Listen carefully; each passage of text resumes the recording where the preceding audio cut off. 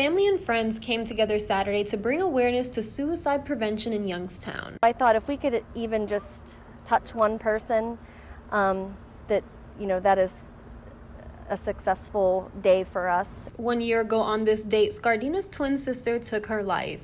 A year later, those who loved her gathered on the bridge where it happened to send a message to others who may be considering the same path.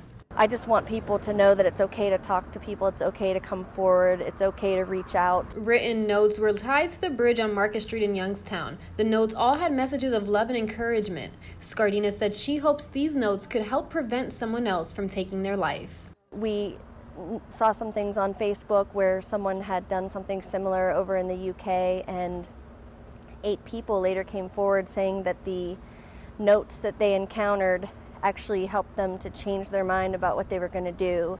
We wrote some of them, and then I actually went on Facebook and asked all of our friends and family that if they had a certain suicide prevention quote or saying that they would like included. Scardina said since her sister's death, she has decided she will spend the rest of her life devoted to suicide prevention. There's always going to be down moments and dark days, but the only place to go from there is up. And if you just reach out and talk to someone and let them know how you're feeling, I can guarantee there's someone that would be willing to help you. If you or someone you know is struggling with suicidal thoughts, you can find help by calling the number on the screen, which is also listed in the article below.